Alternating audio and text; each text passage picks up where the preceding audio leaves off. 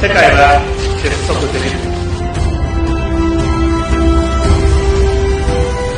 日本ならではの粘り強く共通点を生み出すアプローチをしているそして世界をより良い世界にしていくための結果を出していくその一点であります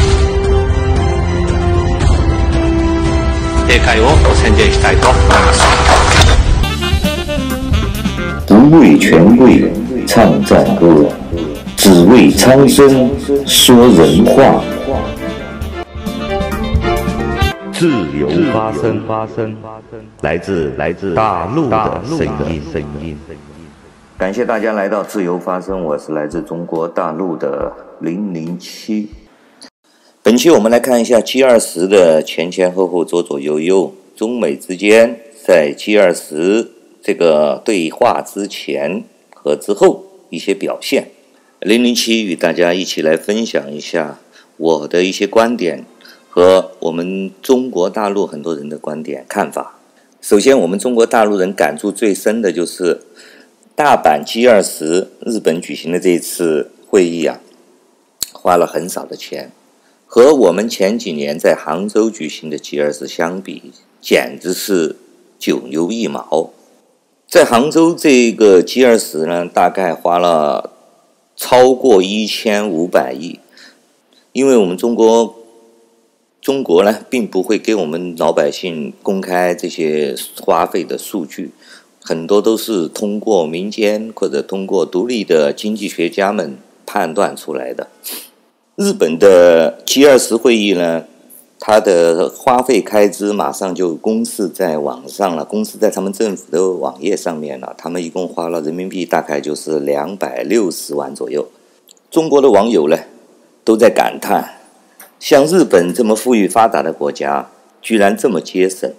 但是我们中国作为一个大部分中国人都很贫困的情况下，居然政府可以花费这样大的代价去开这么一个会议，毫不顾忌中国的现实情况，就像习近平到处去撒钱一样。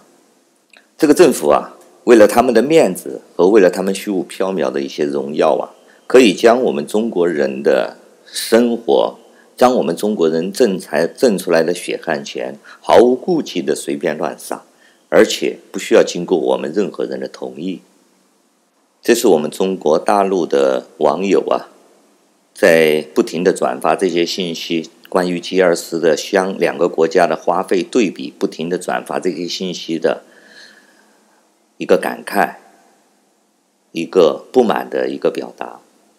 在 G 二十中国和美国谈判之前呢，在中国的。官方文章里面，大陆的官方文章里面，大部分对美国都是非常强硬的。但是在开完了这个会之后，习近平和川普会了面，谈完了之后，就一个小时左右，一个多小时左右吧。中国到包括到今天为止，中国的官媒现在就基本上对美国的这个强硬的文章几乎就看不到了。官方还有啊。本来，习近平他们呢是在跟美国谈完之后呢，还跟巴西总统约好了半个小时之后跟巴西总统进行会面。结果呢，中国习近平他们呢完全失去外交礼仪，跑了，根本就不去见。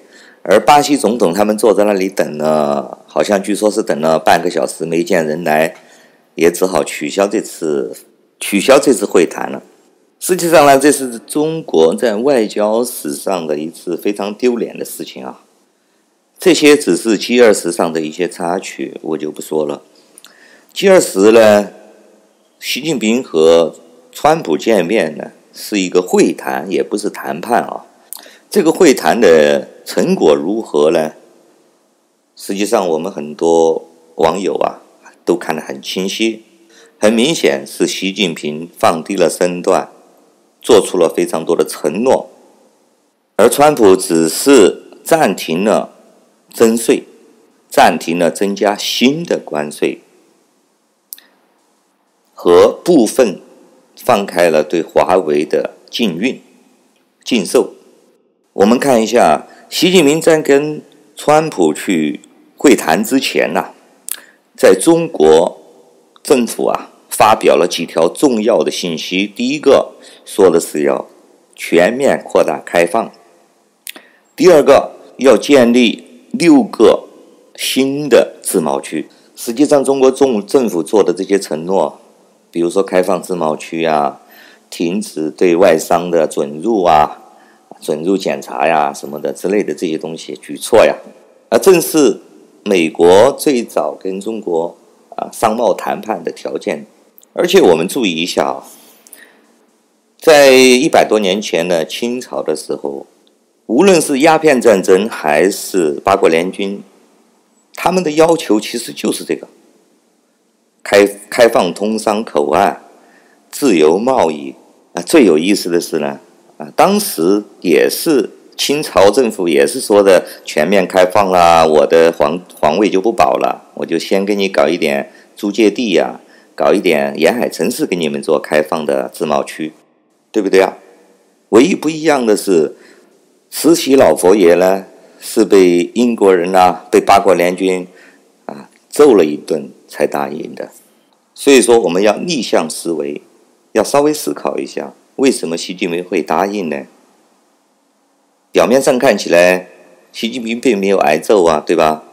这个方面呢，我以后再给大家再给大家分析。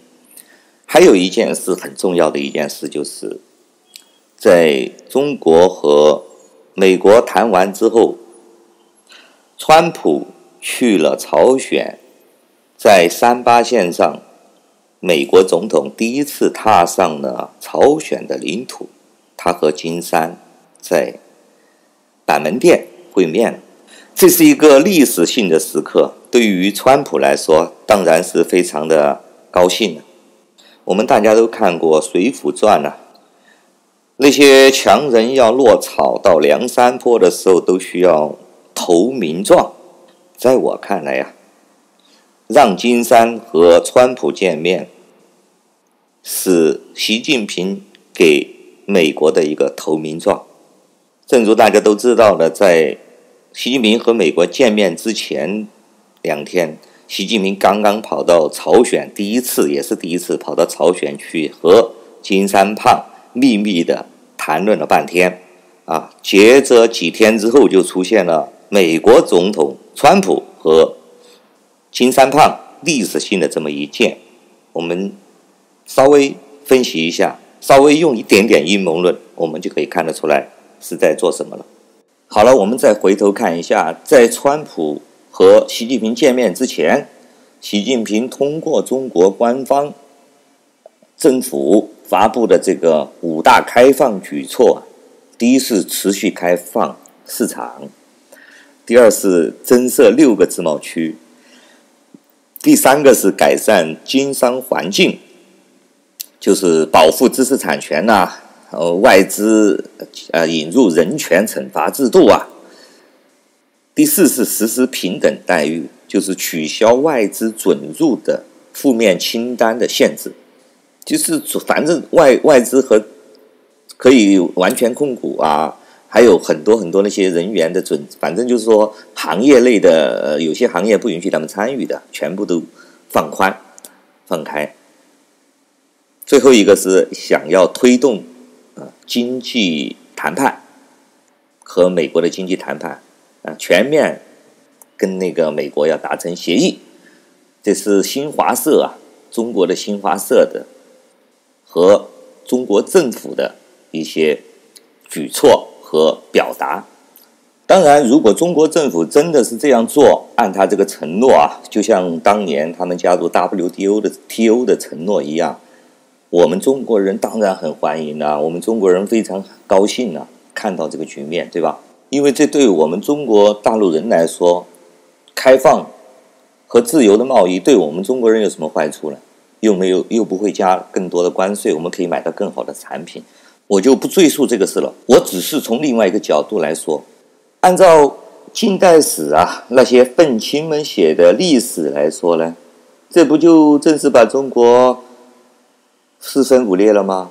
搞这么多自贸区出来，搞这么多租界地出来，这不是变成半殖民半封建了吗？对吗？对于这方面的解读，我也不提了。我以后会跟大家分析我的一些观点和看法。啊，正如呢，中国人的承诺靠不靠得住的问题，准确的说是中国政府的承诺靠不靠得住的问题。我们知道，从加入 WTO 写的那些承诺，到香港对香港五十年不变的承诺，啊，中英联合声明、基本法，我们中国政府。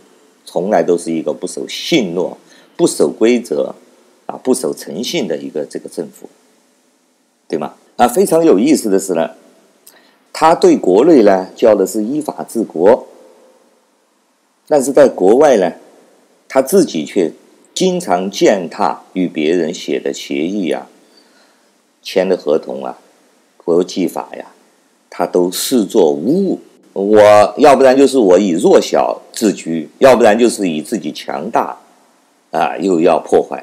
反正他强大了也可以破坏，是弱小了也可以破坏，对吗？他在国际上，中国这套逻辑思维啊，这套行为处事的风格就是这么样来做的，对吗？我们可以明显看得出来。但是他对国内呢，却要求我们老百姓要什么呀？按照法律规则，按他定的条条框框去做。他对我们中国普通人的法规法律啊，非常的严格执行，可以说，甚至可以说是严格的过头都有了，把我们每个人都监控起来呀。不仅我们的行为受控制啊，连我们的思想都会受控制啊。你想一想都会有错呀。这种呢，肯定就是一种流氓做派啦。如果如果这个世界上有“流氓”二字的话，用在共产党的身上是是非常的贴切。我们再来说说华为，我们可以看得到信息是，习近平是私下求川普，哎呀，我们这个厂啊，华为厂啊，几万个工人呐，啊，吃不了饭了，你看看可怜可怜吧，你看看我又扩大，新搞几个自贸区。啊，又又请三胖子跟你啊，历史性的一件，啊，又又啊，又又又负面清单给你们取消了，让美国的企业啊可以参与我们很多行业的投资，也可以啊不用受什么我们的负面清单影响，你就可怜可怜吧。川普也是答应了，还有我们可以看到，习近平在回国之后发了一个主席令。要进行大赦，这个很明显也是他的承诺。我估计啊，他把加拿大那几个公民扣押在中国，以所谓的呃法律的犯法了这个罪名抓了几个加拿大人，也有可能会用这个大赦的方法把这几个加拿大人放掉。这个是为了完成对华救华为，很明显的。从另一个角度，我们也可以看得出来，中国共产党的法律。那真的就是一个儿戏，法律在他们手上也变成了工具，变成了一种手段。中国共产党所谓的依法治国，这个法呀，在他们的手中就是一块泥巴，他们想怎么捏就怎么捏。我们看到呢，川普同意部分放宽华为的禁令，就说可以让华为采购部分的零部件。结果回到美国去了呢，却受到了美国国会的激烈的批评。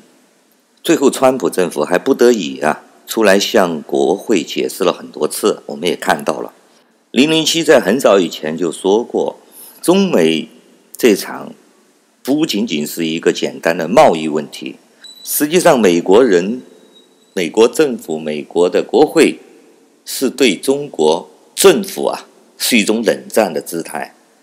我说过，甚至美国就算川普不做总统，换任何一个人来做总统，这个基本的方针是肯定不会变的。你不要以为美国人是傻白甜嘛，对不对？欺骗了几十年，还搞出这么一个邪恶的共产党的这个体制出来，来来侵袭他们的威胁，他们的安全，威胁他们的健康。美国人和西方社会只要稍微有点理智，他们肯。做出反击的，当然，我们中国人也希望中国共产党能够啊顺应历史的潮流，也认清楚认清楚现实。最重要的目的是什么呢？既然中国共产党号称是为人民服务的，为我们中国人民做出牺牲、做出啊无私的服务的一个政党，对吧？那么你为了中国人的好而做出改革，或者做出你们的变革，那这不正是你们口头天天宣传的那一套东西吗？